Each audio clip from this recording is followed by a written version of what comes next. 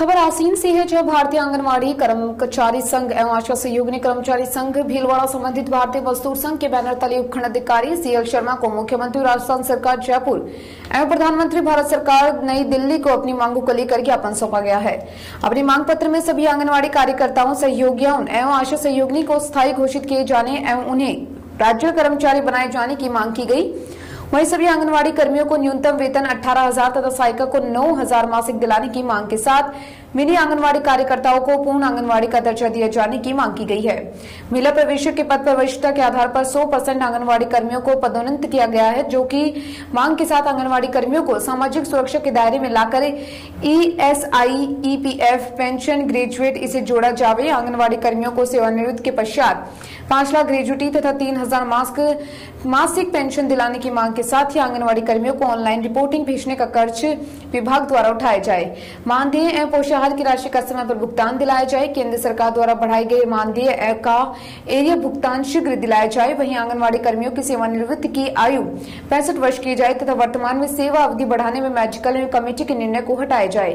आंगनबाड़ी कर्मियों के बच्चे को पहली कक्षा से ही छात्रवृत्ति चार हज़ार से लेकर आगे डिग्री, डिप्लोमा करने तक पैंतीस हज़ार दिए जाए। वही सेवानिवृत्त के समय उनके बीमा की रकम का भुगतान उसी दिन दिलाया जाए। आंगनबाड़ी कार्यकर्ता के सेवानिवृत्त या मृत्यु पर रिक्त हुए पदों पर उसी केंद्र की योग्य सहयोगी सहायिका को आंगनबाड़ी कार्यकर्ता बने।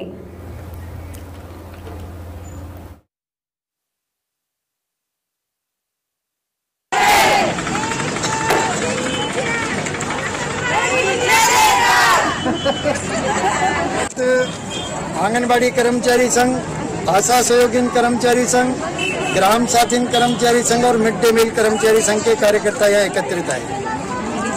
पूरे राजस्थान और पूरे भारतवर्ष में भारतीय मजदूर संघ की ओर से एक अभियान चल रहा है, जिसमें जितने भी मानदेय कर्मी हैं, संविदा कर्मी हैं, दैनिक वेतन भोगी है, ठेका कर्मी है, उन सबको सरकार जो शोषण कर रही है, उस शोषण से मुक्ति दिलाने के लिए उनको स्थायीकरण किया जाए।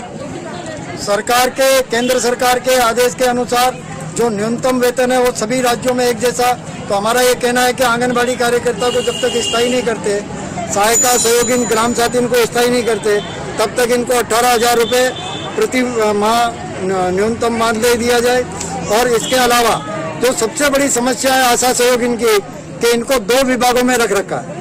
हमारा ये कहना है कि इनको एक विभाग में रखो, चाहे तो आप चिकित्सा विभाग में, चाहे आप महिला बाल विकास। और एक जगह से मानदेय मिले। माना इनका ये स्थिति है कभी स्वास्थ्य विभाग मानदेय नहीं देता कभी महिला बाल विकास मानदेय मांग गया है? हमारी मांग ये है कि जितने भी ये कर्मी हैं इनको स्थायी किया जाए और इनको पेंशन दी जाए।